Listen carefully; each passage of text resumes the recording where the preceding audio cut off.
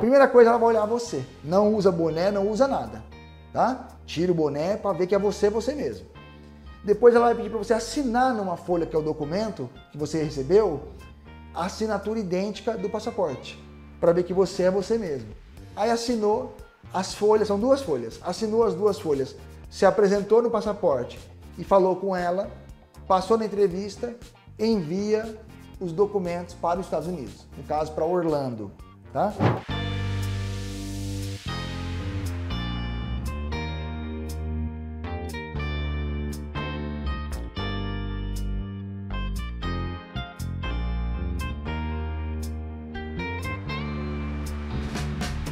Esses são os cartões American Express americanos, tá? Esses cartões que vocês estão vendo na mesa aqui, são todos cartões americanos American Express emitido nos Estados Unidos.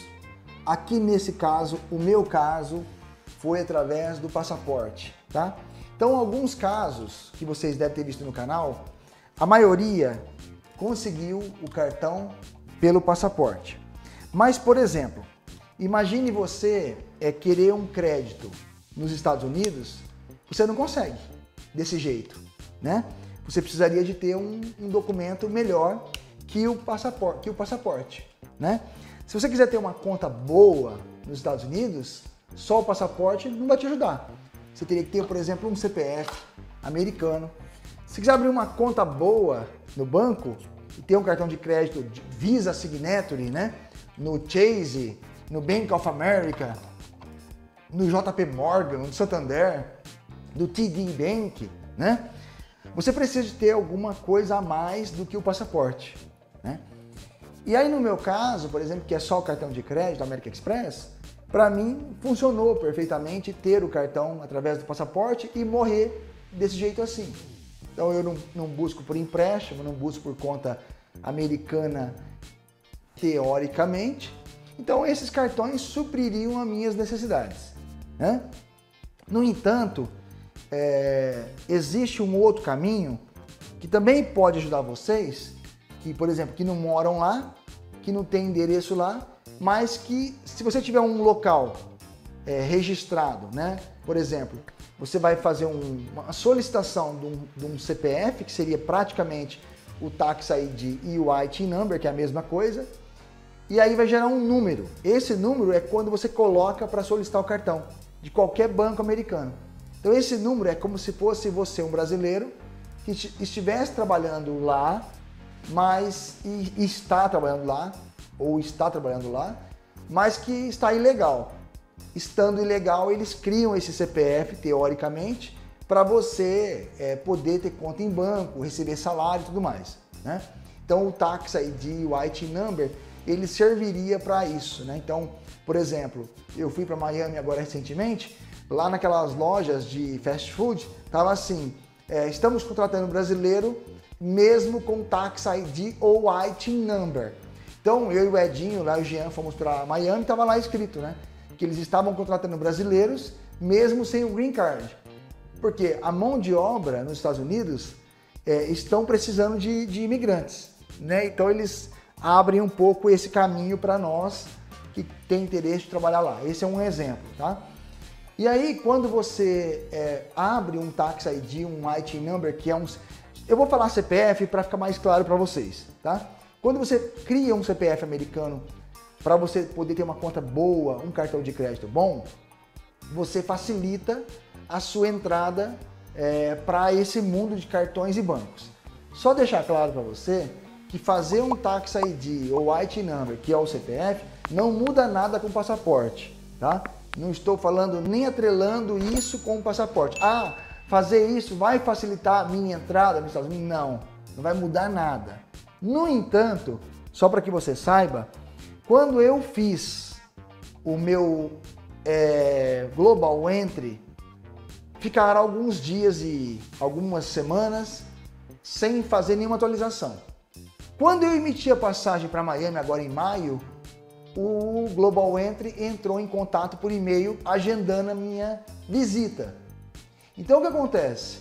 O, sistema americano, eles estão interligados a passagem aéreas de brasileiros que vão para os Estados Unidos mediante a uma solicitação.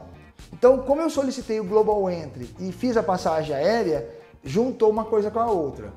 Então a gente sabe que eles são muito avançados tecnologicamente referente à situação, tá? Então pode ser que quando uma pessoa cria um Global Entry, cria um Tax ID, é, cria o passaporte, o visto, junta tudo isso aí e dá o positivo, né? Pode ser, tá?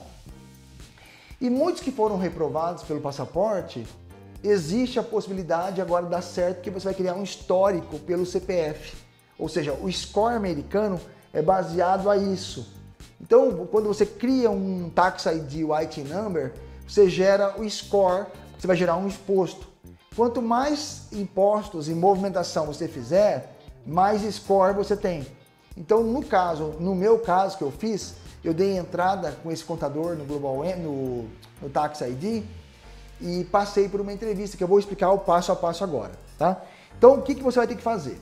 Você vai chamar o contador amanhã, né? E eu vou te mandar o link, você vai entrar nesse link, você vai preencher o formulário, eu vou te mostrar aqui, e lá no final você põe outros, vai aparecer o meu nome, Leandro Vieira, porque eu que estou indicando. E você vai fazer o seguinte: se não aparecer meu nome, você vai. Quem é que indicou? Fala Leandro Vieira, para não falar que é golpe. Por quê? Porque você vai, depois que preencher e pagar a taxa, é, você vai entrar, marcar com ela no WhatsApp uma entrevista. No WhatsApp, ela vai fazer o quê? Vai pegar o seu passaporte e vai mandar você mostrar para ela ao vivo. Você vai pegar o passaporte, ela vai falar mais perto e vai ver se o seu passaporte é você mesmo, se bate. Primeira coisa, ela vai olhar você. Não usa boné, não usa nada, tá? Tira o boné para ver que é você, você mesmo. Depois ela vai pedir para você assinar numa folha que é o documento que você recebeu, a assinatura idêntica do passaporte, para ver que você é você mesmo. Aí assinou as folhas, são duas folhas. Assinou as duas folhas, se apresentou no passaporte e falou com ela, passou na entrevista, envia os documentos para os Estados Unidos, no caso para Orlando, tá? Pronto. Dali chegou os documentos. Demora aqui de Sorocaba eu mandei por, por mais caro. Eu mandei o mais caro e o mais rápido. Vai demorar sete dias. Então essa semana o meu documento chega. Provavelmente essa semana ou a outra eu devo ter aí o documento já garantido. Tá? Aí que eu vou, eu vou fazer? Eu vou trocar o meu passaporte e colocar meu CPF americano para os meus cartões americanos. Eu vou trocar meu passaporte e alinhar agora ao meu CPF verdadeiro, tá? Mas, Leandro, eu não tenho endereço nos Estados Unidos. Não tem problema, porque eles também recebem correspondência. Então você pode é, ter um endereço americano com eles também e pagar para eles despacharem para você aqui no Brasil. Também, se eu não me engano, eles fazem esse serviço. Eles fazem imposto de renda você vai ter que pagar uma taxa, o meu deu 30 dólares, tá? O meu imposto deu 30 dólares. Você vai ter que pagar imposto de renda, que é o, esse, esse valor que criou o Tax ID. Você vai... É, é só uma vez, tá? Essa taxa que você vai fazer o seu documento é uma vez só. Para criar o documento é uma vez só, para pagar a taxa do contador é uma vez só, tá? Depois você vai pagar o imposto, que é os 30 dólares que eu paguei, eu acho que vai ser assim.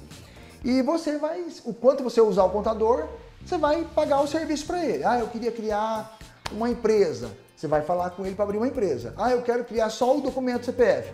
Tax ID IT Number. Ah, eu quero criar um imposto de renda. Fala com eles. Né? Ah, eu quero abrir uma conta corrente e movimentar e quero que você cuide da minha conta. Fala com eles. Tá? Então é uma empresa séria aí, há muitos anos no mercado. Eu falei com o proprietário, inclusive, e já outros influenciadores indicam também. Eu não sabia, né? Então, essa parte aí a gente começou agora, mas já existe há muitos anos, né? E só agora a gente chegou nisso, tá? Então, só para vocês ficarem cientes, vocês vão chamar o Edinho, tá? É, eu não quero expor aqui, por quê? É, tem muito bandido, né? E quando a pessoa chama o Edinho, a gente salva o telefone. Então a gente fica salvando quem é que está chamando o Edinho. Então, para ter esse controle para nós, fica muito mais fácil de algum problema a gente mostrar quem foi que puxou, né? e qual CPF e qual telefone a pessoa usou, tá? Se eu expor aqui, fica ninguém, aí eu não sei quem foi que puxou o contato, tá? Então, o caminho vai ser, você vai entrar é, nesse link, eu só não vou expor também aqui, tá? Você vai pegar o link, você vai preencher seus dados, é muito fácil, Tudo em português, tá? Nada em inglês. Não se assustem que não tem nada em inglês. É tudo português e são brasileiros também, tá? Então, você vai falar com eles, vai preencher o formulário primeiro, você vai pagar a taxa, ela vai falar com você pelo WhatsApp. Eu vou deixar o telefone no WhatsApp também para vocês falarem com eles. E aí você vai vendo as suas condições de o que, que você quer. Quer abrir empresa, quer fazer só o documento CPF, IT number ou tax ID, tá? De novo, é, não tem vínculo nenhum isso com o passaporte, tá? Ah, eu quero fazer o passaporte para poder é, entrar. Não tem nada a ver isso com isso. Tá? Isso não tem nada a ver com isso, tá bom? Ah, eu moro nos Estados Unidos e eu queria um contador. Tem aqui para você, tá? Se você mora aí nos Estados Unidos, Miami, Orlando, é, Washington, Las Vegas, seja onde você estiver e você precisa de uma ajuda, eles fazem o trabalho para vocês, tá? O escritório deles é em Orlando, mas atende o mundo inteiro, tá certo? Eu, o que é legal é que, por exemplo, muitos membros do canal entraram em contato com eles hoje e, e, e ontem e, e aí começa esse trabalho, é legal porque fica mais seguro do que o passaporte em si. Que o passaporte, se é um, a gente passa no passaporte, mas não é CPF, né? E por mais que o Amex aceite isso, você fica limitado. Tendo o CPF e o seu score verdadeiro americano, é mais fácil. E quem quer ter um cartão Visa Infinity do Chase, por exemplo, é na busca, né? Então, esse é o caminho mais fácil que você teria para buscar esses cartões e contas americanas. Quem for viajar para fora do Brasil, só apresentar o CPF, passaporte, é, o endereço onde você mora e pronto. Né? Então ficaria bem mais fácil também. Show? Então eu fiz o meu essa semana, acho que a outra já chega meu número e eu troco o passaporte pelo número do CPF, pronto, acabou, tá garantido, tá? Beleza? Show de bola. Então esse é o caminho para a gente seguir, seguir aí mais fácil para conseguir os cartões americanos. Beleza?